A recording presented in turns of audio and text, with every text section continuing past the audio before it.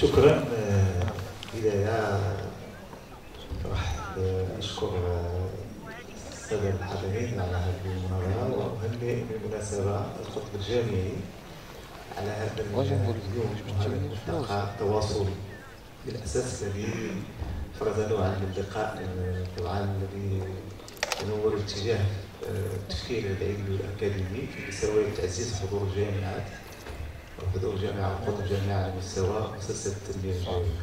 طبعا أنا أشكر السي محمد جروع على عرضه دون الدخول في التفاصيل التي جاء بها العرض أنا أريد أن أقف على حسب ما يسمح به الوقت بعض المقترحات أراها مناسبة فيما يتعلق بمحور هذه الورشة التي انصبت حول التميز الأكاديمي.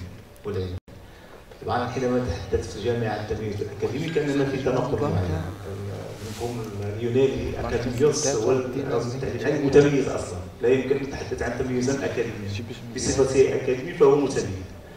وإذا كان الأمر يتعلق بما يمكن أن نفكر في قضيه التمييز في علاقته بالقضايا الاستراتيجية في مشروع الترابي عامه أعتقد لابد النظر وأن نكون جليين وهذه كانت محطه واعتقد كل المداخلات صبت هذا الاتجاه وهو أنه لابد إعادة النظر في العقد الجامعي في مستويه سواء في المستوى البيداغوجي أو في المستوى المتعلق بالبحث العلمي بالخصوص خاصة في المجال المتعلق بالابتكار أساسا. طبعا ماذا يمكن أن تقدم الجامعة أو الخط الجامعي للجهة؟ أعتقد أن الملتقى يجب أن يصحح المقولات التي كانت سائده مده لا بد من الجامعة أن تنفتح على الوسط.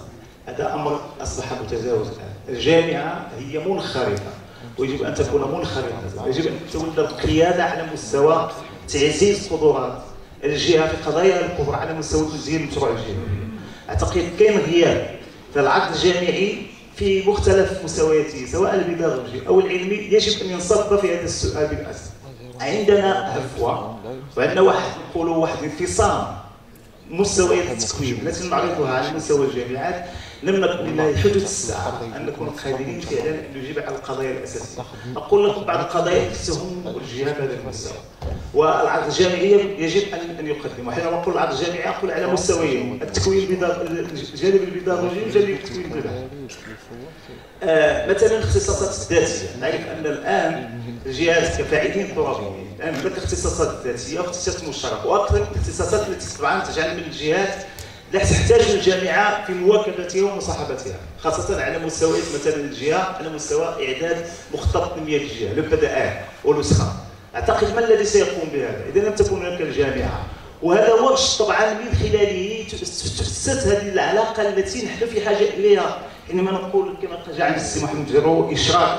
المحيط السياسي الاقتصادي في اقتراح مسارات التكوين أعتقد من حيث الجهة يجب أن تنتبه فيما تحتاجه طبعا من قرارات وفيما تبحث فيه بخصوص الإجابات على مستويات الأسئلة اللي تطرحها ماشي فقط الجهة بل الجامعة الترابيه ككل يجب أن تكون الجامعة حاضرة. وبالتالي هنا سيكون الجامعة في عقلها البيداغوجي تتطور لانها تحتاج بالمقابل أن تعزز بنيتها وان تكون قادرة على أن تعدل في مستويات تتعلق بالإجابة عن ما تطرحه الجامعة الترابيه من القضايا. ولهذا هذا تحدي بالنسبة لنا كأساتذة. ونلامس هذا التحدي على مستوى خريجي الطلبه الذين نقوم لأن عروض التكوين التي نقدمها اللي موجودة كلاسيكية بالأسف. والإشكال هو ما يحدث عند الطالب حين التخرج. يكون في الواقع لا يستطيع ما طبعا ما أخذه من جامعه جيد. من الناحيه النظرية من الناحيه الذاتيه من الناحيه المناهجية.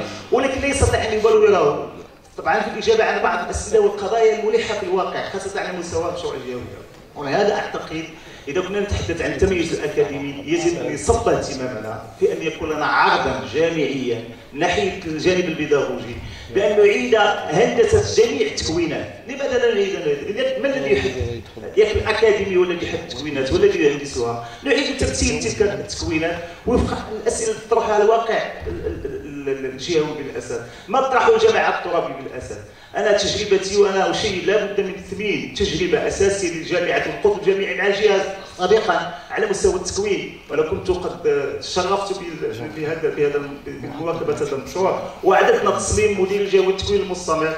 واصبحت كان له كان له مستوى في الواقع لأن صاحبنا على مستوى التعريف بالاختصاصات أساسا تعرف أنه على مستوى الاختصاصات لابد من المعرفه والجامعة لا يمكن أن تقدم وأن تنتج النخب وأن تقدم كفاءات وقدرات. وبالتالي إذا كنا نتحدث عن التميز ونريد فعلا أن يكون لنا عرض أكاديمي فيه صبغة التميز على مستوى الانخراط. في في المؤسسات التنمية الاجتماعية الجهوية يجب أن تكون لنا القدرة كذلك أن نعيد ترتيب ادواتنا التي نشتغل بها ونربط تكوين العروض التكوينية التي عندنا على مستوى مطرح هذه هذه الجماعات الترابية من من قضايا ومن أسئلة أخرى. نقطة أخرى أخيرة نقطة أخيرة أخيرة نقطة أخيرة مسألة التماسك الترابي هي قضية ملحه بالنسبة للجماعات الترابية بالاساس وللجهه بالاساس. هذا مدخل أساسي لكي نعيد وتكون الجامعة منخرطة فيه لكي تقدم عروضا على مستوى البحث وعلى مستوى على مستوى الدراسات التي تهم هذه القضية التي هي مقلقة وفيها الكلام كثير وشكرا ومعذره الله.